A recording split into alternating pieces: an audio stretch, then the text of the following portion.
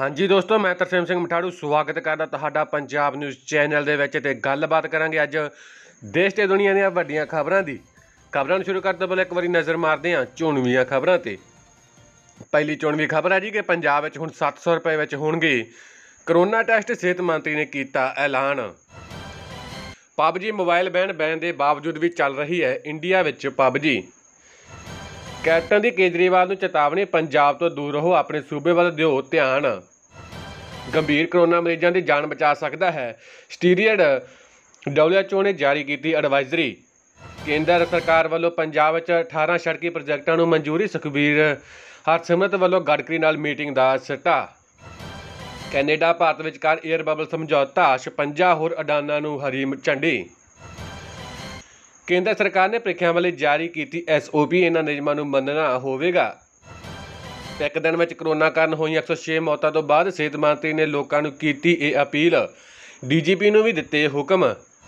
ਅਗਲੇ 48 ਘੰਟਿਆਂ ਵਿੱਚ ਪੰਜਾਬ, ਹਰਿਆਣਾ ਤੇ ਯੂਪੀ ਵਿੱਚ ਬਰਸਾਤ ਦੀ ਭਵਿੱਖਬਾਣੀ। ਬਿਜਲੀ ਸਮਝੌਤੇ, ਪੰਜਾਬ ਨੂੰ 8000 ਕਰੋੜ ਦਾ ਨਵਾਂ ਝਟਕਾ। ਭਾਰਤ ਵਿੱਚ 38 ਲੱਖ ਤੋਂ ਪਾਰ ਹੋਇਆ ਕਰੋਨਾ ਅੰਕੜਾ, ਜਾਣੋ ਕਿਹੜੇ ਸੂਬੇ ਵਿੱਚ ਕਿੰਨੇ ਮਾਮਲੇ। ਇੱਕ ਮਹੀਨੇ ਤੋਂ ਜ਼ਿਆਦਾ ਸਮੇਂ ਬਾਅਦ ਸਸਤਾ ਹੋਇਆ ਡੀਜ਼ਲ, ਆਪਣੇ ਸ਼ਹਿਰ ਦਾ ਰੇਟ, ਜਾਣੋ। ਝਾਰਖੰਡ ਦੇ ਕਿਸਾਨਾਂ ਨੂੰ ਮਿਲੇਗਾ 2 ਕਰੋੜ ਦਾ ਕਰਜ਼ਾ ਮਾਫੀ, ਦ੍ਰੋਪਦੀ। ਬੈਂਕ ਕਰਜ਼ਾ ਪੁਨਰਗਠਨ ਲਈ ਆਜ਼ਾਦ, ਪਰ ਕਿਸ਼ਤ ਮੁਲਤਵੀ ਕਰਨ ਤਹਿਤ ਕਾਇਦਾਰਾਂ ਨੂੰ ਪਰੇਸ਼ਾਨ ਨਹੀਂ ਕਰ ਸਕਦੇ ਅਦਾਲਤ। 10ਵੀਂ ਓਪਨ ਦੇ ਨਤੀਜੇ ਐਨਾ- ਐਲਾਨਣ ਨੂੰ ਲੈ ਕੇ ਵਿਦਿਆਰਥੀਆਂ ਨੇ ਲਾਈ ਗੁਹਾਰ। ਤਾਂ ਦੋਸਤੋ, ਇਹ ਸੀਗੀਆਂ ਆਪਣੀਆਂ ਸਮੇਂ ਦੀਆਂ ਚੋਣਵੀਆਂ ਖਬਰਾਂ। ਤੇ ਹੁਣ ਗੱਲਬਾਤ ਕਰਦੇ ਹਾਂ ਜੀ ਪਹਿਲੀ ਵੱਡੀ ਖਬਰ ਦੀ।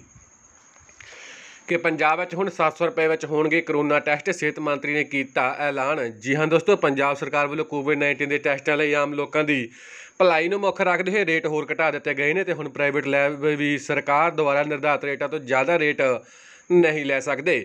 ਇਸ ਸੰਬੰਧੀ ਜਾਣਕਾਰੀ ਦਿੰਦੇ ਹੋਏ ਸਿਹਤ ਤੇ ਪਰਿਵਾਰ ਭਲਾਈ ਮੰਤਰੀ ਪੰਜਾਬ ਬਲਵੀਰ ਸਿੰਘ ਸਿੱਧੂ ਨੇ ਦੱਸਿਆ ਕਿ ਵਾਜਿਬ ਰੇਟਾਂ ਦੇ ਟੈਸਟ ਦੀ ਸੁਵਿਧਾ ਉਪਲਬਧ ਕਰਵਾਉਣ ਲਈ ਸਰਕਾਰ ਵੱਲੋਂ ਪ੍ਰਾਈਵੇਟ ਲੈਬ ਲਈ ਕੋਵਿਡ-19 ਦੇ ਟੈਸਟਾਂ ਦੇ ਰੇਟ ਤੈਅ ਕਰ ਦਿੱਤੇ ਗਏ ਨੇ।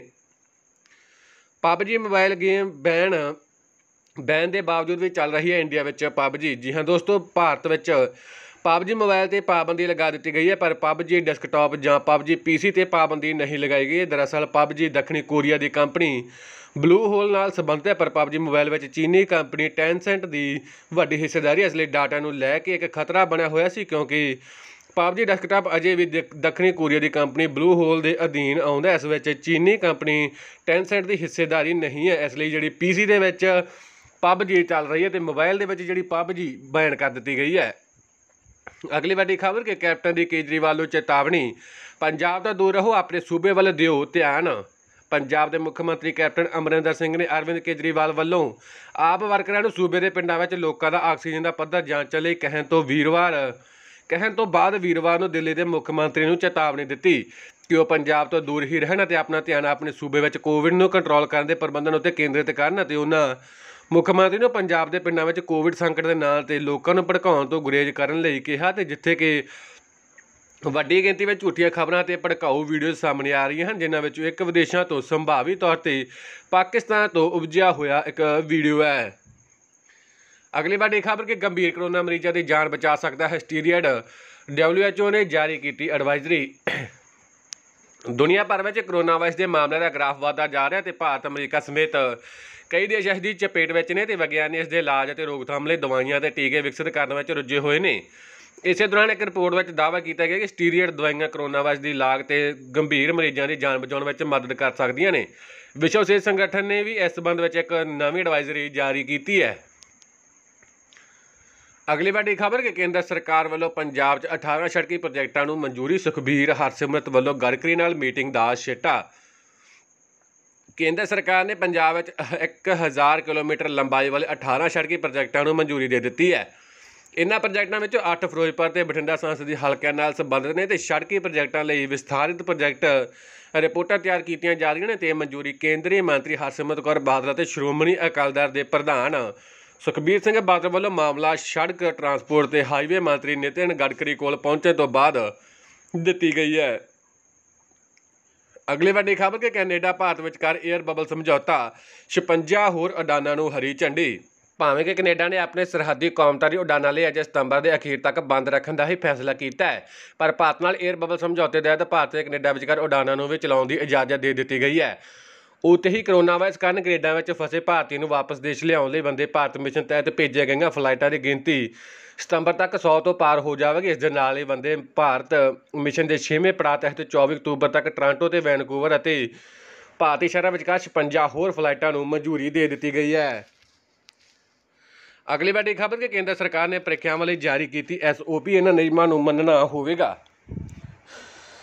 ਕੇਂਦਰੀ ਸਿਹਤ ਮੰਤਰਾਲੇ ਨੇ ਦੇਸ਼ ਵਿੱਚ ਜਾਰੀ ਕਰੋਨਾ ਵਾਇਰਸ ਦੇ ਕਹਿਰ ਵਿਚਕਾਰ ਕੁਝ ਦਿਨਾਂ ਵਿੱਚ ਦੇਸ਼ ਵਿੱਚ ਹੋਣ ਵਾਲੀਆਂ ਪ੍ਰੀਖਿਆਵਾਂ ਲਈ ਸਟੈਂਡਰਡ ਆਪਰੇਟਿੰਗ ਪ੍ਰਕਿਰਿਆ ਐਸਓਪੀ ਜਾਰੀ ਕੀਤੀ ਹੈ ਤੇ ਸਰਕਾਰ ਦੀਆਂ ਨਵੀਆਂ ਹਦਾਇਤਾਂ ਅਨੁਸਾਰ ਸੰਬੰਧਿਤ ਪ੍ਰਸ਼ਾਸਨ ਪ੍ਰੀਖਿਆ ਲਈ ਨਿੱਜੀ ਸੁਰੱਖਿਆ ਗੀਅਰ, ਜਿਵੇਂ ਕਿ ਮਾਸਕ, ਹੈਂਡ ਸੈਨੀਟਾਈਜ਼ਰ ਆਦਿ ਮੁਹੱਈਆ ਕਰਵਾਵੇਗਾ ਤੇ ਸਰਕਾਰ ਦੀਆਂ ਹਦਾਇਤਾਂ ਅਨੁਸਾਰ ਹਰੇਕ ਨੂੰ ਘੱਟੋ ਘੱਟ 6 ਫੁੱਟ ਦੀ ਦੂਰੀ ਬਣਾਈ ਰੱਖਣੀ ਹੈ ਤੇ ਇਸ ਤੋਂ ਇਲਾਵਾ ਮਾਸਕ ਪਹਿਨਣਾ ਲਾਜ਼ਮੀ ਕਰ ਦਿੱਤਾ ਗਿਆ ਤੇ ਇਸ ਤੋਂ ਇਲਾਵਾ ਸਮੇਂ-ਸਮੇਂ ਤੇ ਹੱਥ ਧੋਣ ਅਤੇ ਸੈਨੀਟਾਈਜ਼ਰ ਦੀ ਵਰਤੋਂ ਕਰਨ ਦੀਆਂ ਹਦਾਇਤਾਂ ਵੀ ਦਿੱਤੀਆਂ ਗਈਆਂ ਨੇ। ਅਗਲੀ ਵੱਡੀ ਖਬਰ ਕਿ ਇੱਕ ਦਿਨ ਵਿੱਚ ਕਰੋਨਾ ਕਾਰਨ ਹੋਈਆਂ 106 ਮੌਤਾਂ ਤੋਂ ਬਾਅਦ ਸਿਹਤ ਮੰਤਰੀ ਨੇ ਲੋਕਾਂ ਨੂੰ ਕੀਤੀ ਇਹ ਅਪੀਲ, ਡੀਜੀਪੀ ਨੂੰ ਵੀ ਦਿੱਤੇ ਹੁਕਮ। ਪੰਜਾਬ ਵਿੱਚ ਕਰੋਨਾ ਮਹਾਮਾਰੀ ਹਰ ਦਿਨ ਖਤਰਨਾਕ ਹੁੰਦੀ ਜਾ ਰਹੀ ਹੈ ਤੇ ਬੀਤੇ ਦਿਨ ਸੂਬੇ ਵਿੱਚ ਕਰੋਨਾ ਦੇ ਸਭ ਤੋਂ ਵੱਧ 106 ਲੋਕਾਂ ਦੀ ਜਾਨ ਲਈ ਹੈ।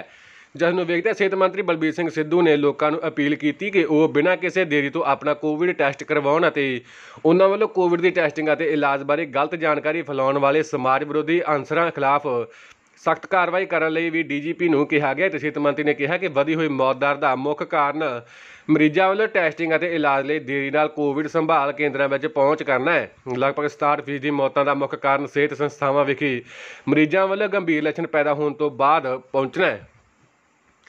ਅਗਲੀ ਵੱਡੀ ਖਬਰ ਕਿ ਅਗਲੇ 48 ਘੰਟਿਆਂ ਵਿੱਚ ਪੰਜਾਬ ਅਤੇ ਹਰਿਆਣਾ ਯੂਪੀ ਵਿੱਚ ਬਰਸਾਤ ਦੀ ਭਵਿੱਖਬਾਣੀ। ਜੀ ਹਾਂ ਦੋਸਤੋ, ਮੌਸਮ ਵਿਭਾਗ ਨੇ ਅਗਲੇ 2 ਦਿਨਾਂ ਵਿੱਚ ਅੰਦਰ ਪੰਜਾਬ ਅਤੇ ਹਰਿਆਣਾ ਤੇ ਯੂਪੀ ਦੇ ਕੁਝ ਹਿੱਸਿਆਂ ਵਿੱਚ ਬਾਰਿਸ਼ ਹੋਣ ਦੀ ਭਵਿੱਖਬਾਣੀ ਕੀਤੀ ਹੈ ਤੇ ਵਿਭਾਗ ਅਨੁਸਾਰ ਦੇਸ਼ ਦੇ ਉੱਤਰ ਪੱਛਮੀ ਹਿੱਸਿਆਂ ਤੇ ਉੱਤਰ ਪੂਰਬੀ ਹਿੱਸਿਆਂ ਵਿੱਚ ਭਾਰੀ ਬਰਸਾਤ ਹੋ ਸਕਦੀ ਹੈ।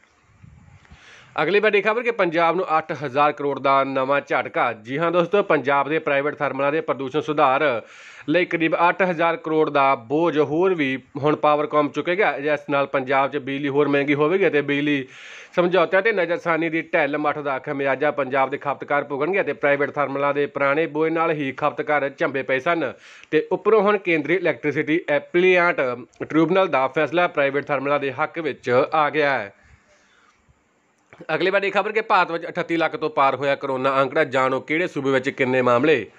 ਜੀ ਹਾਂ ਦੋਸਤੋ, ਦੇਸ਼ ਵਿੱਚ ਬੁੱਧਵਾਰ ਨੂੰ ਕਰੋਨਾ ਵਾਇਰਸ ਦੇ ਇਨਫੈਕਸ਼ਨ ਦੇ ਕੁੱਲ ਮਾਮਲਿਆਂ ਦੀ ਗਿਣਤੀ 38 ਲੱਖ ਦੇ ਅੰਕੜੇ ਨੂੰ ਪਾਰ ਗਏ ਤੇ ਸਬੰਧਿਤ ਸਰਕਾਰਾਂ ਵੱਲੋਂ ਉਪਲਬਧ ਕਾਰਵਾਈ ਕਰਵਾਈ ਗਈ। ਜਾਣਕਾਰੀ ਮੁਤਾਬਕ ਰਾਤ 9:30 ਵਜੇ ਤੱਕ ਦੇਸ਼ ਦੇ ਵੱਖ-ਵੱਖ ਸੂਬਿਆਂ ਅਤੇ ਕੇਂਦਰ ਸ਼ਾਸਿਤ ਪ੍ਰਦੇਸ਼ਾਂ ਵਿੱਚ ਕਰੋਨਾ ਵਾਇਰਸ ਨਾਲ ਜੁੜੇ ਅੰਕੜੇ ਇਸ ਪ੍ਰਕਾਰ ਨੇ।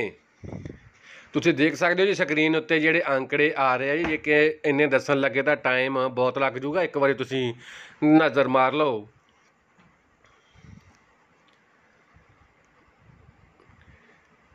ਤੇ ਨਾਲ ਹੀ ਕੇਂਦਰੀ ਸਿਹਤ ਮੰਤਰਾਲੇ ਨੇ ਹੁਣ ਤੱਕ ਇਨਫੈਕਸ਼ਨ ਦੇ ਮਾਮਲਿਆਂ ਦੀ ਕੁੱਲ ਗਿਣਤੀ 37 ਲੱਖ 69523 ਦੱਸੀ ਹੈ।